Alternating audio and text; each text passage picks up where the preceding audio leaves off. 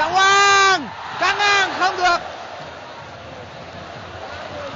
Những pha đập nhả và Ansa đánh đầu không vào! Rất đáng tiếc cho Devon Deron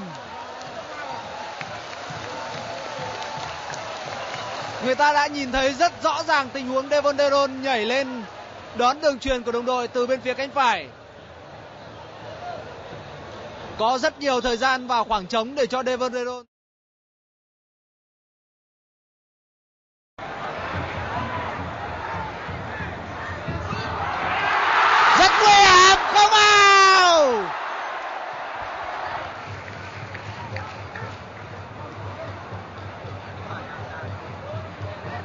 chúng ta cùng xem lại một lần nữa pha dứt điểm bằng chân trái, một cú sút nửa nảy của Ngô Hoàng Thịnh.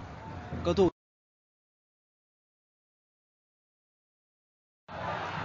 lợi thế về chiều cao và đôi tay đã giúp cho Hoàng La càn phá được tình huống vừa rồi. Đây rồi! Không việt vị Trọng Hoàng! Đánh đầu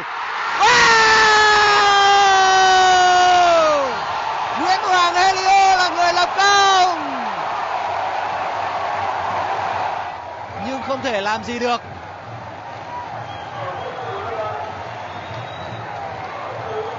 Có thể nói là tình huống dẫn tới bàn thua của các thủ xi măng dưới phía sai Ninh Bình xuất phát từ chính đường truyền của An Sa cho Trọng Hoàng.